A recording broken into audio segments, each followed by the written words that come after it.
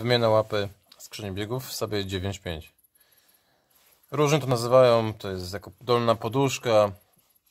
No przyjmijmy, że to jest dolna poduszka skrzyni biegów, łapa, jak to chce, tak może sobie nazywać. E, Dlaczego to wymieniam? Ponieważ stara poduszka ma takie luzy. Praktycznie zaraz wypadnie. O, można wyciągnąć. Można sobie wyciągnąć. Nowe oczywiście luzów no, minimalnie ma, no, jest ciasno spasowane. Tak, e, oryginał ma taki numer. Czyli to widać.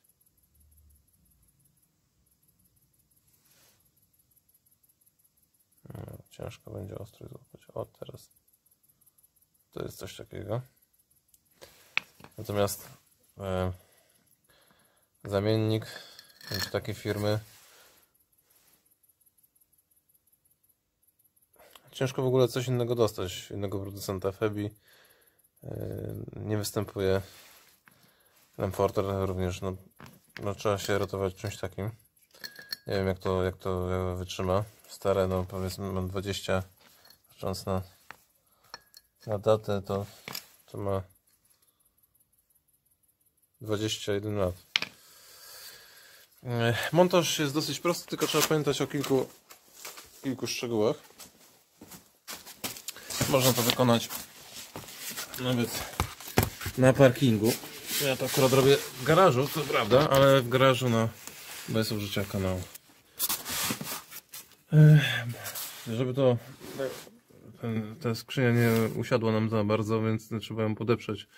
Ja tego użyłem podnośnika takiego, który jest dołączony do samochodu.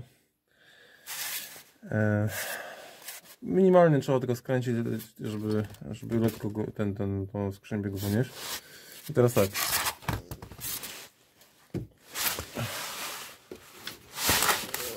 Tutaj jest ten jakby spornik tej łapy.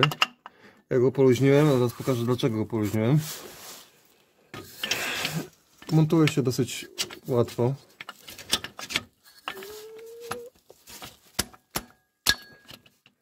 Tak, z tej strony, z tej strony siedzi, z tej st- strony siedzi. Z jednej strony jest e, tutaj jest na, skręcony na mm, śrubę 15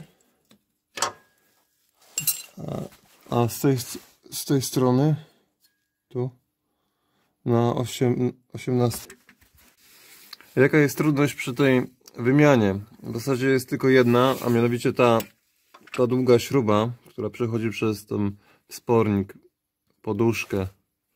No i tu wiadomo się stąd tutaj wychodzi.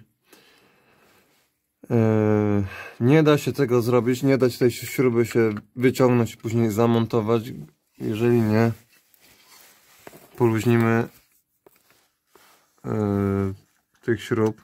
Są raz, dwa, trzy, trzy śruby. Raz, dwa i trzy.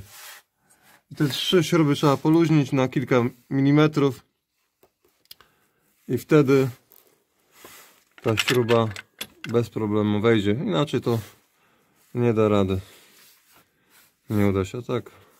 Można to wykonać bezboleśnie. Dzięki.